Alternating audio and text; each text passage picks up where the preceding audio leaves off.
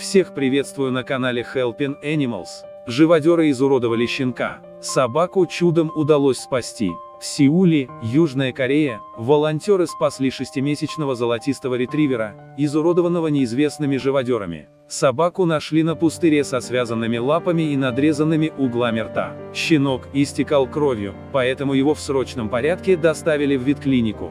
За жизнь собаки пришлось побороться, но увечье на ее мордочке останется на всю жизнь. Кроме того, садисты сломали ей лапу. Неизвестные пытались сделать из собаки Джокера. Именно он обладал такой улыбкой, с надрезанными вверх углами рта. По-видимому, эта идея показалась живодерам остроумной. Несмотря на все перенесенное, Бобби не потеряла доверия к людям.